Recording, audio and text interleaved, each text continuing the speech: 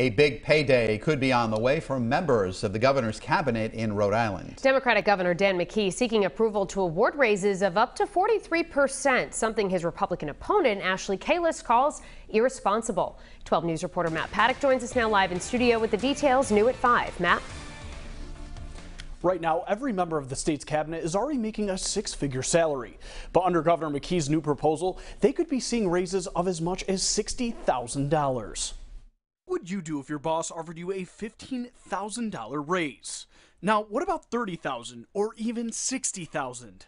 Well, those numbers could soon become a reality for members of the Rhode Island Governor Dan McKee's cabinet after the governor requested approval of some big pay bumps. For example, the health department director currently makes $140,000. The governor proposes raising that to $200,000. At the state police, the colonel's current pay of $155,000 would go to $195,000. And at the Department of Transportation, the director's current $155,000 salary would rise to $190,000. On Tuesday, McKee's Republican challenger Ashley Kalus slammed the proposal, calling it out of touch. Out of touch is out of touch with Americans. 58% are living paycheck to paycheck. So what he's concerned about is giving raises to individuals that are already making six figures. And irresponsible. Responsible talks about the $3.5 million extra that this, this is going to cost us per year. It is fiscally irresponsible and it is completely out of touch with what families are going through. 12 News was unable to interview McKee on camera,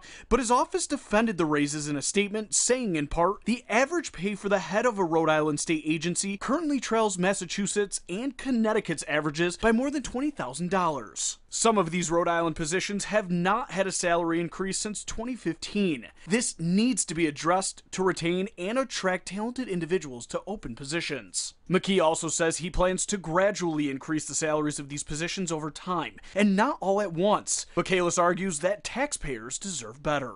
I don't understand this. This doesn't make any sense now, given the fact that we have an affordability crisis for everybody in Rhode Island. McKee had originally sought approval for cabinet director raises back in March, but his administration scrapped the idea then and at the time declined to say if McKee would bring it back later. Lawmakers will have 30 days to reject the raises before they take effect. Live in studio, Matt Paddock, 12 News. Governor Dan McKee is proposing some sizable raises for members of his cabinet. The governor says they're necessary to remain competitive. It's already drawing criticism from McKee's Republican opponent. 12 News reporter Matt Paddock breaks down the proposal and the debate. Matt.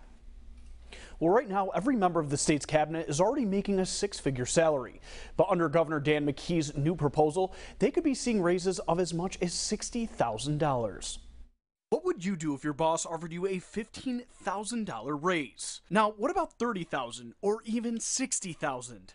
Well, those numbers could soon become a reality for members of the Rhode Island Governor Dan McKee's cabinet after the governor requested approval of some big pay bumps. For example, the health department director currently makes $140,000. The governor proposes raising that to $200,000. At the state police, the colonel's current pay of $155,000 would go to $195,000. And at the Department of Transportation, the director's current $155,000 salary would rise to $190,000. 12 News was unable to interview McKee on camera, but his office defended the raises in a statement, saying in part, the average pay for the head of a Rhode Island state agency currently trails Massachusetts and Connecticut's averages by more than $20,000. This needs to be addressed to retain and attract talented individuals to open positions. On Tuesday, McKee's Republican challenger Ashley Kalus slammed the proposal, calling it irresponsible. Responsible talks about the $3.5 million extra that this, this is going to cost us per year.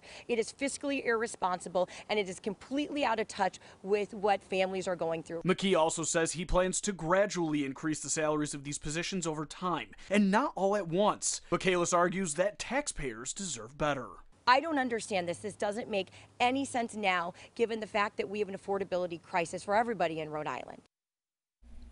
McKee had originally sought approval for cabinet director raises back in March, but his administration scrapped the idea then and at the time declined to say if McKee would bring it back later.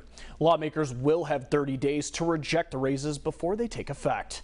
In studio, Matt Paddock, 12 News.